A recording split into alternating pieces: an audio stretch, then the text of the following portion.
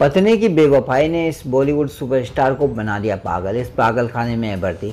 कहते हैं, प्यार में बहुत ताकत होती है, इसलिए प्यार की खातिर इंसान सब कुछ कर गुजर जाता है, लेकिन यदि प्यार में बेवफाई मिल जाए तो अच्छा खासा इंसान बर्बाद हो जाता है। ऐसा ही एक बॉलीवुड अभिनेता के साथ हुआ जो अपनी पत्नी की बेवफाई मिलने के कारण पूरी तरह से टूट गया।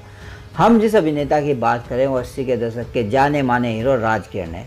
राज ने बुलंदी, बसेरा, तेरी मेहरबानियाँ, घर हो तो ऐसा अर्थ कर्ज जैसी बड़ी फ़िल्मों में काम किया। लेकिन आज ये दिग्गज अभिनेता गुमनामी के अंधेरे में कहीं खो गया है। राज किरण फ़िलहाल कहाँ है? इस बात को कोई भी अच्छे से नहीं जानता है। खबरों की माने तो राज किरण अपनी पत्नी की बेवफाई के कारण इतना टूट गए कि वो अपना मानसिक संतुलन खो बैठे। राज किरण को आखिरी बार रिपोर्टर नाम के एक टीवी सीरियल में देखा गया था। राज किरण ने ऋषि कपूर के साथ फ़िल्म कर्ज में काम किया था। ऋषि कपूर के अनुसार उनकी मुलाकात 2011 में राज किरण के भाई गोविंद मेहतानी से हुई। तब ऋषि कपूर ने उनके भाई से राज किरण के बारे में पूछा तो गोविंद मेहतानी ने बताया राज किरण पिछले दस सालों से अमेरिका के अटलांटा के एक पागल खाने में भर्ती है।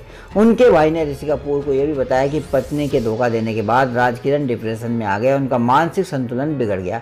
वहीं बॉलीवुड की जानी मानी एक्ट्रेस दीप्ति नवल ने राज किरण को अमेरिका में टैक्सी चलाते हुए देखने का दावा किया था। जब राज किरण के बारे में उनकी पत्नी और बेटी से पूछा गया तो उन्होंने कहा कि ऋषि कपूर झूठ बोल रहे हैं। राज किरण पिछले नौ सालों से लापता है। मुंबई पुलिस और प्राइवेट डिटेक्टिव राज किरण की तलाश कर रहे हैं। खबर अच्छी लगे तो लाइक करें और सब्सक्राइब करना ना भूलें।